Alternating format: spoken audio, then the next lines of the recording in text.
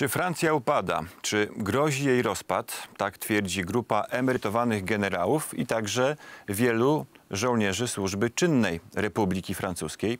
O tym powiemy w programie. Wolne głosy za granica. Michał Trześniewski, kłaniam się Państwu i witam się z naszym gościem, a jak Francja to Zbigniew Stefanik, korespondent polskich mediów nad Sekwaną. Dzień dobry panie redaktorze. Dzień dobry, witam Państwa. E, zacznijmy jednak od, od, innej kwestii. Mianowicie w miniony weekend w wielu miastach europejskich odbyły się propalestyńskie manifestacje. No, często przebierały, e, często miały one formę taką dosyć agresywną, ostrą, jak chociażby w Berlinie czy w Londynie. A jak to było we Francji? We Francji która wiemy, że słynie z tego, że tam manifestacje są no, takie bardzo gorące, wręcz agresywne. No i wiemy także, że we Francji mieszka największa społeczność arabska, jeżeli chodzi o państwa europejskie. E, według danych francuskiego Ministerstwa Spraw Wewnętrznych 22 tysiące osób manifestowało w całej Francji e, w demonstracjach e, propalestyńskich, przy czym należy pamiętać, iż w kilku miastach takich właśnie jak Paryż, Nicea te demonstracje były zakazane, co wywołało wiele kontrowersji, jak i również dysputę polityczną, ponieważ postawiono we Francji pytanie, czy faktycznie zakazywanie demonstracji jest zgodne z prawami człowieka i obywatela. Jednakże faktycznie demonstracje propalestyńskie zostały zakazane w Paryżu i Nicei ponieważ rząd powoływał się na wydarzenia sprzed 7 lat, kiedy te manifestacje w Paryżu miały dość gwałtowny przebieg i aby uniknąć takich wydarzeń zakazał tych demonstracji. Zresztą ten zakaz podtrzymał paryski sąd administracyjny, jednakże e, to nie przeszkodziło organizatorom e, w przeprowadzeniu tych demonstracji. Demonstracja jednak miała miejsce w Paryżu. Jej przebieg był faktycznie dość gwałtowny. W wyniku start z policją zostało rannych kilkanaście osób i również kilka stróżów porządku. Zatrzymano tego dnia 52 dwie osoby. Jednakże w takich miastach jak, jak na przykład e, Marsylia czy też e, Lyon e, te demonstracje miały charakter całkowicie spokojny i absolutnie pokojowy. Tak więc tutaj różne miasta, różne przebiegi tych demonstracji, ale faktycznie podobnie jak w całej Europie, zdaje się też w większości państw europejskich, takie demonstracje również miały miejsce we Francji w miniony weekend. Ostatnio burzę medialną we Francji wywołały listy francuskich żołnierzy.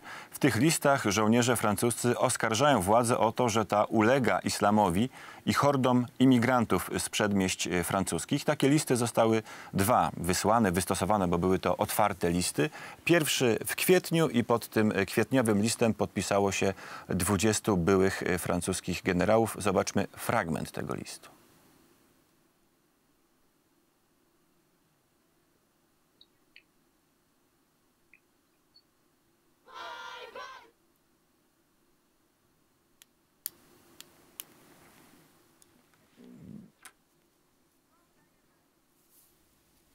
Dziś kwestią naszego honoru jest zwrócenie uwagi na rozpad, którego doświadcza nasza ojczyzna. Rozpad, który wraz z islamizmem i hordami z przedmieść powoduje oderwanie wielu kawałków naszego państwa i przekształcenie ich w terytoria poddane dogmatom sprzecznym z naszą konstytucją. Nie ma już czasu, aby się wahać. Dalsza zwłoka spowoduje, iż jutro wojna domowa zakończy ten narastający chaos, a jej śmiertelne ofiary, za które będziecie odpowiedzialni, będą liczone w tysiącach miesiącach. Tydzień temu podpisano, czy wystosowano drugi list. Tym razem podpisali się, może nie podpisali, ale wystosowali go żołnierze służby czynnej, ale y, anonimowo. I w tym drugim liście ci żołnierze popierają byłych generałów, mówią, że rzeczywiście władze ulegają islamowi, ulegają imigrantom i mówią, że jeżeli wybuchnie wojna domowa, armia utrzyma porządek na własnej ziemi. Czy te dwa listy francuskich y, żołnierzy odbiły się szerokim echem nad Sekwaną? E, mm, list odbił się szokiem, ale również e, wydarzenia, które są z nim związane, ponieważ pamiętajmy, iż te listy zostały opublikowane niemal w 50. rocznicę próby zamachu stanu e, w Algierze. Pamiętamy, iż w kwietniu 61 roku XX wieku, no właśnie grupa generałów, próbując obalić prezydenta de Gaulle'a, przeprowadza zamach stanu w Algierze. Ten zamach stanu upada kilka, kilkanaście dni później. Kolejna kwestia to kwestia dotycząca tego wydarzenia jako takiego. Czy wojskowi w państwie demokratycznym e, mają prawo zabierać głos w debacie politycznej? Zdaje się, że odpowiedź tutaj jest jednoznaczna. E, wreszcie czy takie wydarzenia no, nie przypominają wydarzeń z przeszłości, takich jak na przykład miały miejsce w Hiszpanii, w Portugalii, w Grecji. No również zdaje się, iż w Polsce, o ile nie myli mnie pamięć i wiedza, również był okres, gdzie był reżim wojskowy tak, przed II wojną światową. Tak więc z pewnością te wydarzenia odbiły się szerokim echem, tym bardziej, iż zostały one poparte w sposób dość jednoznaczny, być może wręcz całkowicie jednoznaczny przez jedno ugrupowanie polityczne. Chodzi o mm, Zrzeszenie Narodowe Marine Le Pen. Marine Le Pen utożsamia się według swojej wypowiedzi z tymi listami, jak również apeluje do sygnatariuszy, aby przyłączyli się do jej ugrupowania e, i jej działalności na rzecz e, tego, co nazywa odnową Francji. Tak więc sytuacja tak kontrowersyjna, która wszak wpisuje się w podwójną kampanię wyborczą, ponieważ nad Sekwadą e, dzieli nas kilka tygodni od wyborów samorządowych. E, to jest wybory regionalne i departamentalne, które odbędą się e, pod koniec czerwca tego roku, ale nade wszystko nieco ponad 11 miesięcy dzieli nas od wyborów prezydenckich. Wiemy, że w tych wyborach prezydenckich weźmie udział Marine Le Pen. Pytanie, kto będzie z nią konkurował. Możemy założyć na tym etapie, iż z pewnością w tych wyborach będzie przedstawiciel obozu politycznego makronistów. Celowo e, nie wymieniam nazwiska Emmanuela Macrona, ponieważ e, coraz więcej wskazuje na to, iż Emmanuel Macron mógłby nie wystartować w tych wyborach. Coraz częściej mówi się bowiem o tym, iż być może e, kandydatem makronistów będzie były premier Edouard Philippe, być może wręcz minister spraw zagranicznych, Jean-Yves Le Drian, tego nie wiemy. To z pewnością będzie zależało od poziomu poparcia dla urzędującego prezydenta w okresie, y, mm, w okresie jesiennym, czy też wręcz w okresie zimowym. Jednakże na tym etapie kampania wyborcza, wręcz podwójna kampania wyborcza e, powoduje, iż te kwestie są wykorzystywane politycznie. E, wpisują się one w tą kampanię wyborczą w sposób, można powiedzieć, dość e, jednoznaczny, być może wręcz mało elegancki. Jednakże pytanie istnieje, czy wojskowi w państwie demokratycznym mają prawo w sposób oficjalny, otwarty, zabierać głos e, nie tylko w debacie, ale wręcz w dyspucie politycznej. Czy jest to dopuszczalne?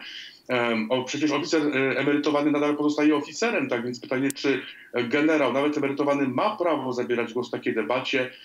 Na ten temat trwa spór we Francji, nie tylko we Francji, zdaje się. A jak interpretować te listy? Bo niektórzy mówią, że być może to jest jakaś zapowiedź wręcz puczu we Francji. No, przynajmniej na tym etapie nic nie wskazuje na to, aby we Francji miałoby dojść do puczu. Tutaj e, raczej e, błąd wizerunkowy można wręcz powiedzieć, ponieważ faktycznie, jak już mówiliśmy, e, te listy zostały opublikowane w 50. rocznicę próbu zamachu stanu na legalne władze Piątej Republiki. Tak więc pytanie, o co chodziło tak naprawdę tym generałom, tego nie wiemy, jednakże osobiście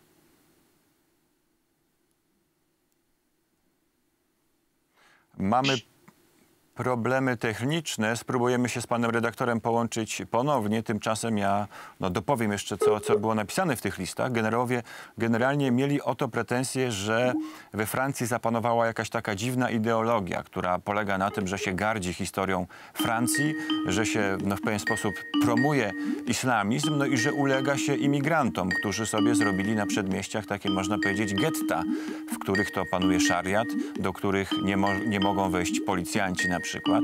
Więc generalnie ta sytuacja jest poważna i generałowie postanowili zabrać głos. Przypomnijmy, że były dwa listy. Pierwszy list został wystosowany w kwietniu przez 20 emerytowanych generałów. Zobaczmy jeszcze raz fragment tego listu. Dziś kwestią naszego honoru jest zwrócenie uwagi na rozpad, którego doświadcza nasza ojczyzna. Rozpad, który wraz z islamizmem i hordami z przedmieść powoduje oderwanie wielu kawałków naszego państwa i przekształcenie ich w terytoria poddane dogmatom sprzecznym z naszą konstytucją. Nie ma już czasu, aby się wahać. Dalsza zwłoka spowoduje, iż jutro wojna domowa zakończy ten narastający chaos, a jej śmiertelne ofiary, za które będziecie odpowiedzialni, będą liczone w tysiącach miesiącach. Jesteśmy z powrotem i jesteśmy z powrotem połączeni z panem redaktorem Zbigniewem Stefanikiem. E, panie redaktorze, jeszcze jedna kwestia, ponieważ generałowie piszą w listach, czy żołnierze, żołnierze piszą w tych dwóch listach, że przedmieścia francuskie zostały opanowane wręcz przez hordy imigrantów i że tam panuje szariat albo że policjanci nie mogą tam w zasadzie wejść, bo może spotkać ich no wręcz zlinczowanie. Czy we Francji istnieją takie strefy no-go zone? E, z pewnością Francja ma duży kłopot z bezpieczeństwem e, w pewnych dzielnicach francuskich, ale jest to problem bardzo złożony. E, ja bym tego problemu nie upraszczał, sugerując, że właściwie jest to wyłączny wynik daleko idącej imigracji, zwłaszcza tej imigracji z ostatnich lat. Te kwestie należy rozpatrywać w kategoriach społecznych, gospodarczych, politycznych. Wreszcie są to zaniedbania, kilkudziesięcioletnie zaniedbania, które doprowadziły do tej sytuacji, owszem, trudnej sytuacji, ale jednak nie jest to sytuacja, która wskazuje na to, iż może dojść w najbliższym czasie we Francji do wojny domowej. Wszak zamieszki, e, uliczne zamieszki nie mają miejsca tylko we Francji. Przecież jeśli e, przytoczymy to, co stało się w Niemczech, w Stuttgarcie w czerwcu zeszłego roku, e, to przecież widzimy, że zamieszki mają miejsce w innych państwach. Jeśli spojrzymy na sytuację w USA, tam również dochodziło do zamieszek na tle, e, na tle e, zabójstwa George'a Floyda. Tak więc Francja tutaj nie ma monopolu na zamieszki uliczne. Faktycznie problemy istnieją. Te problemy, zdaje się, rządzący próbują e, w jakiś sposób rozwiązywać, umniejszać E, poprzez pakiet ustaw, który nadal jest procedowany. Ten pakiet ustaw właściwie zmienił już nazwę kilkukrotnie. Obecnie nazywa się e, pakietem wzmacniającym wartości Republiki. Ale jeśli chodzi o przedmieście, jeśli chodzi o te trudne dzielnice, bo rozumiem, że, rozumiem, że o to pan pyta, e, to jest to temat, który zasługuje z pewnością na dłuższą rozmowę. Jednakże jeśli spojrzeć na problematyki, które tam występują, to trzeba na nie spoglądać przez różne pryzmaty, nie tylko przez pryzmat islamizacji, która z pewnością występuje, ale nie jest z pewnością tylko y, jedynym elementem, który tłumaczy trudną sytuację, bo faktycznie tam występuje trudna sytuacja, ale nie jest ona spowodowana wyłącznie e, elementem e, migracyjnym. E, zostawmy sobie e, w takim razie te kwestie na, na, inną rozmowę, taką bardziej pogłębioną. I na sam koniec chciałbym pana redaktora zapytać o sprawę stricte polityczną, czyli o wybory parlamentarne i prezydenckie we Francji. Takie wybory odbędą się w 2022 roku, za rok. Ja przypomnę tylko, że te poprzednie wybory w roku 2017 wygrał Emmanuel Macron. On wygrał prezydenturę i jego partia Republika En Marche wygrała wybory parlamentarne. Natomiast jak wygląda sytuacja teraz? No, na rok przed wyborami. Sytuacja z pewnością e, nietypowa, procesowa, ponieważ nadal nie wiemy, kto w tych wyborach weźmie udział. Przede wszystkim nie wiemy, kto będzie reprezentował e, tradycyjne partie polityczne, czyli na przykład kto będzie kandydatem partii republikanie. E, mamy tutaj kilka kandydatów, na przykład Xavier Bertrand, przewodniczący regionu Hauts-de-France, zadeklarował swój start w tych wyborach bez względu na to, czy odbędzie się w jego partii prawybory, czy też nie. Z kolei wiemy również, iż na przykład przewodnicząca regionu Ile-de-France Valérie Pécresse również postuluje, czy też pretenduje do tytułu kandydata tej partii. Wreszcie był przewodniczący Laurent Wauquiez. Być może kandydatów jest więcej. Nie wiemy, kto na lewicy. Wiemy, iż y, lewicę skrajną będzie prezentował Jean-Luc Mélenchon, to mm, kandydat La France Insoumise, przewodniczący tej partii. Jednak kto będzie przedstawicielem partii centroprawicowej? Czy dojdzie do jakiegoś sojuszu lewicy? Tego nie wiemy. Tak więc na tym etapie trudno powiedzieć, jak będzie wyglądał ten panel kandydatów. Wreszcie, czy w tych wyborach weźmie podobnie udział Emmanuel Macron? E, czy urzędujący prezydent będzie ubiegał się o reelekcję? Tego również nie wiemy. Wiemy jednak jedno na pewno. W tych wyborach weźmie udział e, Marine Le Pen, ale również jej udział w drugiej turze nie jest przesądzony, ponieważ można założyć, iż jeśli e, w tych wyborach weźmie udział kandydat, który mógłby cieszyć się większym poparciem partii Republikanie, to wówczas być może okaże się, iż e, druga tura rozegra się pomiędzy makronistami a partią republikanie. Tego nie wiemy. Właśnie, właściwie wiemy e, o tych wyborach tyle, że wiemy niewiele, ale będziemy wiedzieli już więcej w lipcu. Dlaczego? Ponieważ przed nami wybory samorządowe. Te wybory samorządowe pokażą realny układ sił poszczególnych partii politycznych.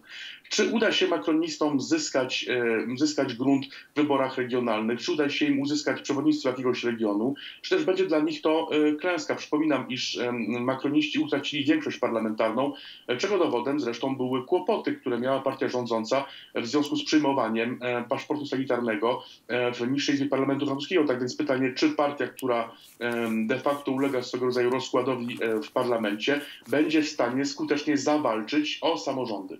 E, Wreszcie, czy... Przepraszam, partia- panie redaktorze, musimy tutaj postawić kropkę. Będziemy oczywiście tę sprawę monitorować. Pan Zbigniew Stefanik, korespondent polskich mediów nad Sekwaną, był naszym gościem. Panie redaktorze, za rozmowę. Dziękuję bardzo. I dziękuję państwu za uwagę. Zapraszam na jutro. Wolne głosy za granica, godzina 17.55. Miłego wieczoru.